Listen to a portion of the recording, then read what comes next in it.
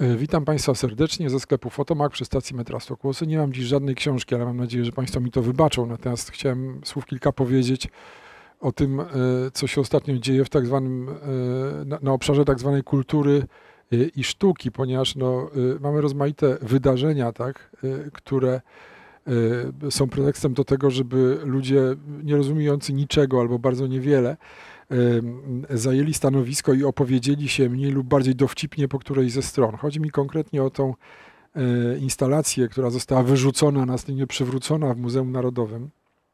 Ja nie chodzę do Muzeum Narodowego, proszę Państwa, to od razu tu ma dygresja, się przyznam.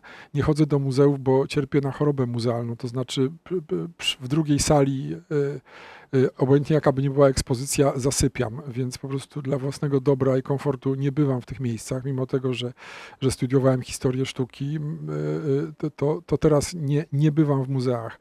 Więc też i ominęła mnie przyjemność obejrzenia tego, tego dzieła, które jak twierdzą niektórzy należy już do klasyki sztuki polskiej. Ja strach myśleć, proszę Państwa, co należy do klasyki sztuki polskiej, a co do niej nie należy.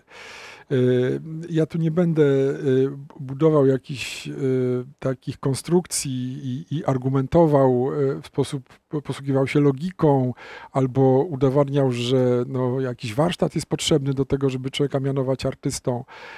Proszę Państwa, to jest śmiech na sali, to jest chucpa, jest po prostu tylko wszystkim ludziom rozsądnym i myślącym niewyobrażalnie przykro, że E, że urzędnicy tacy jak e, dyrektor e, Jerzy Miziołek uginają się przed taką presją, bo absolutnie nie powinni. Nie powinien się przez taką presją uginać również minister Gliński, a niechby oni wszyscy wyszli na ulicę. To by była niezła zabawa, proszę Państwa. Niechby oni wszyscy wyszli na ulicę z tymi bananami. Dlaczego do tego nie, nie dopuszczono? To fantastyczny widok. Trzeba było na to pozwolić.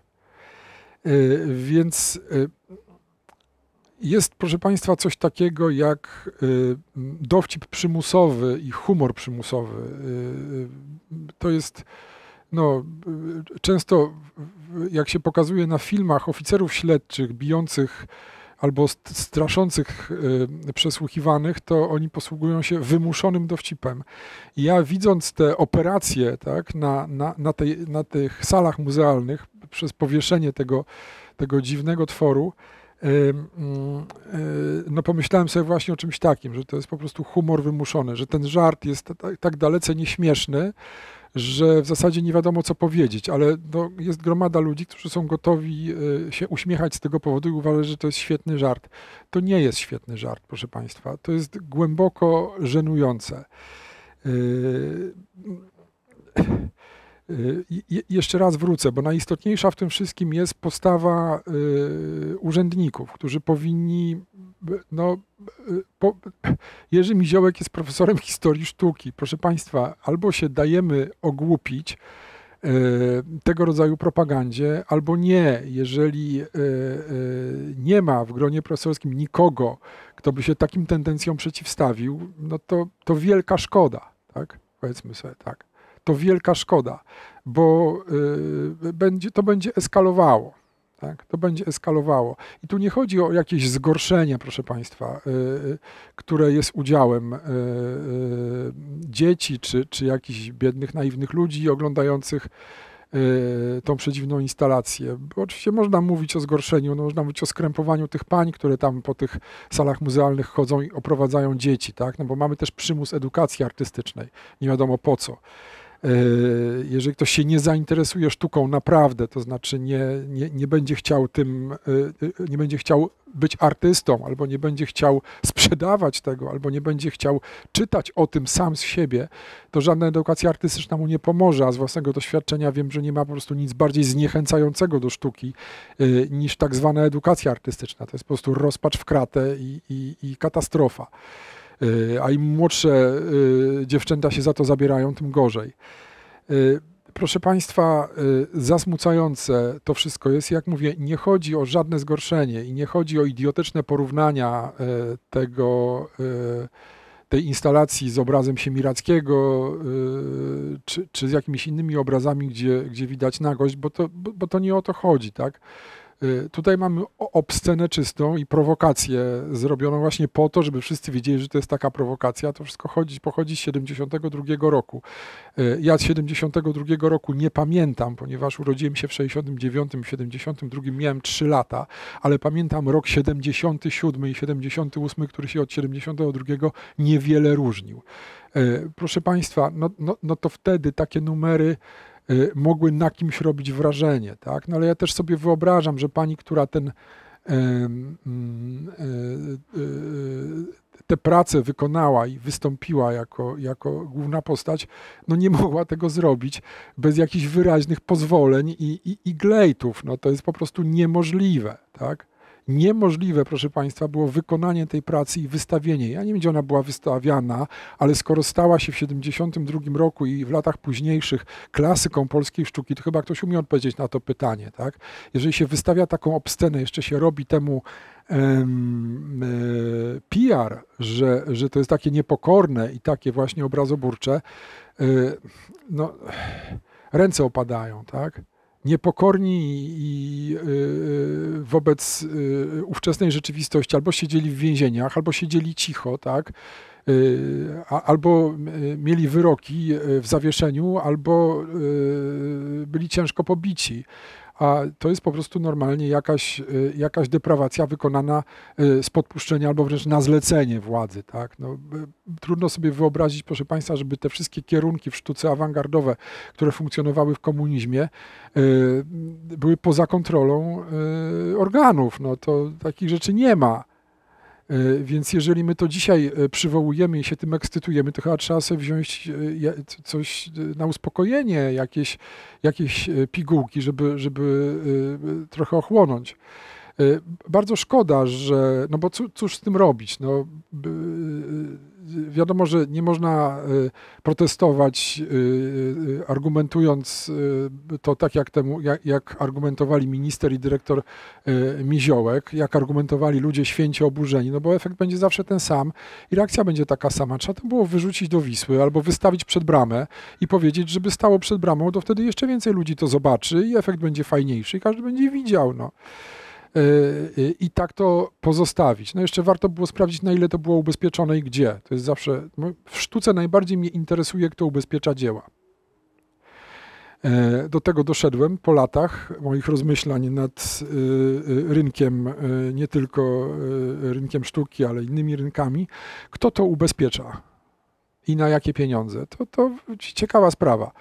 E, no więc gdyby to dyrektor Jerzy Miziołek wystawił za bramę, to byśmy się wtedy dowiedzieli, kto to ubezpiecza i na ile, prawda? I to mielibyśmy ciekawy temat do przemyśleń, do publicystyki poważnej.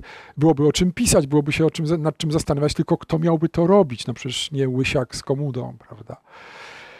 E, zasmucająca sprawa, proszę Państwa, i zasmucające reakcje, no bo reakcje w większości e, idiotyczne, nieskuteczne, mm, e, a jeżeli wrócę do tego, co z tym zrobić, no jeżeli nie wystawić za za bramę, no to pociągnąć te prowokacje dalej, czyli pozwolić im na demonstrację, tak? następnie ją sfilmować i puszczać w telewizji e, z jakimś stosownym komentarzem. Ileż by to memów się pojawiło na fejsie, ilu znanych ludzi, przepraszam, miałoby dorobioną gębę. Bardzo źle się stało, że nie dopuszczono do tej demonstracji, bardzo źle. Y, bo będzie, tak jak mówię, będzie eskalacja i y, różne inne ciekawe rzeczy y, będą się działy. Tam oczywiście jeszcze chodziło nie tylko o tę o biedną panią, która dzisiaj jest już staruszeczką, a może nie żyje. Szkoda też, że nie pokazano, nikt się nie pofatygował z kamerą do niej, żeby pokazać, jak ona wygląda teraz i co mówi w ogóle. Y, no mamy jeszcze tę nieszczęsną Katarzynę Kozyrę, która sobie tam przygotowuje różne, y, różne przegadane, przegadane y, dzieła, nastroszone, bym powiedział, frontem do interpretatorów, którzy po prostu są przymuszeni do, do, do pisania przemądrych dysertacji o intuicjach pani Katarzyny. To jest żenada. To jest po prostu nieprzytomna żenada.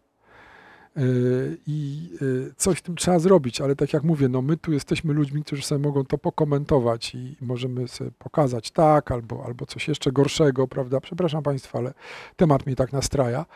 E, nie ma to żadnego znaczenia, natomiast no, są ludzie, na, o których ja myślę, że jednak spoczywa na nich pewna odpowiedzialność Tak sobie myślę, że jeżeli ktoś jest profesorem belwederskim i zabiera głos w rozmaitych sprawach, no to spoczywa na nim jakaś odpowiedzialność. Jeżeli ktoś jest urzędnikiem państwowym, to też spoczywa na nim jakaś odpowiedzialność. Proszę Państwa, to nie jest tak, że większość ma rację. Błąd jest błędem, nawet wtedy, jeżeli wszyscy są w błędzie, więc y, mm, no, nie można y, dryfować w tym kierunku, który nam proponuje y, lewicowa polityka, bo to chodzi o politykę, nie o żadną sztukę. To jest jeden z aspektów działania propagandy lewicowej i lewicowej polityki. Nie można dryfować w tym kierunku i albo się przeciw temu skutecznie przeciwstawimy, E, no albo będzie po nas skutecznie, to znaczy tak, że tamci znikną, albo stracą grunt pod nogami, albo, albo przestaną te, przepraszam za wyrażenie, jaja e, robić. E, natomiast no, nieskutecznie to jest tak, jak to zwykle robi Tomasz Terlikowski, tak, który nakręca koniunkturę na, na, na, te wszystkie historie, a z nim jego koledzy, którzy muszą wyjść i wyrazić święte oburzenie i jeszcze powiedzieć, co ostatnio czytali, a też co oglądali i co było w encyklikach papieskich i co oni o tym wszystkim myślą. To, to wszystko jest paliwo dla, e, dla tego rodzaju inicjatyw i trzeba po prostu popracować nad metodą. E, no ja z racji swojej marginalnej tutaj pozycji i, i ogólnej niemożności zrobienia czegokolwiek mogę sobie pogadać, nie będę się tym zajmował. Ale może kiedyś z nudów jakąś metodę opracuję. Bardzo Państwu dziękuję. Na dzisiaj to wszystko. Do następnego razu. Do widzenia, do usłyszenia.